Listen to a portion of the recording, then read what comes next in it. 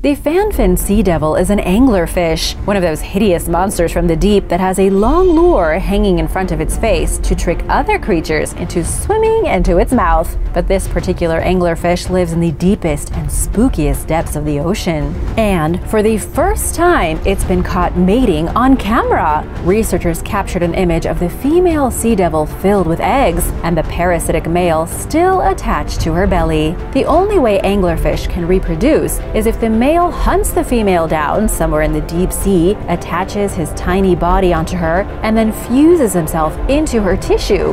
He slowly becomes absorbed inside, leading to a permanent connection. This photo came from around 3,000 feet deep near the Azores in Spain using a submersible vessel, and this was the first time a male fanfin sea devil has ever been seen by humans.